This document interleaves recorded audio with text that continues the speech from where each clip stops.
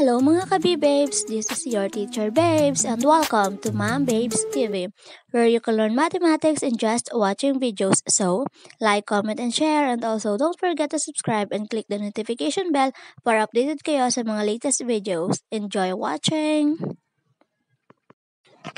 It's another day for another topic and this day we will going to discuss how to solve this kind of radical expression.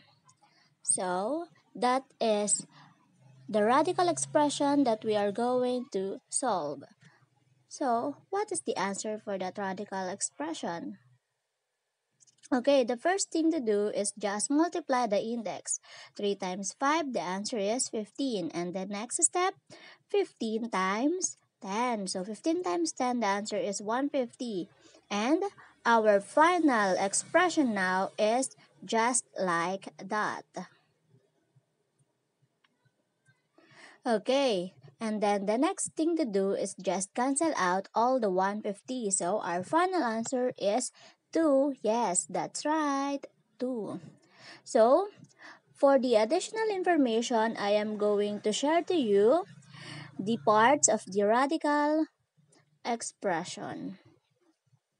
Okay, so that is called the radical sign radical sign and 2 is the radicand. And then that 150 is the exponent of the radicand. Tandaan, that is the exponent of the radicand. And the another 150 is called the index. Yes, and that's all for the part of the radical expression.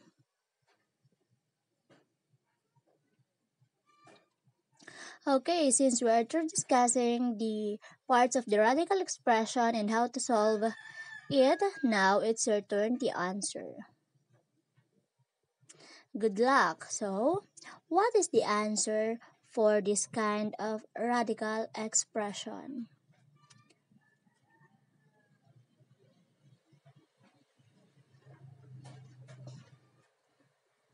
Okay. Comment down below if you know the answer. Good luck and enjoy answering.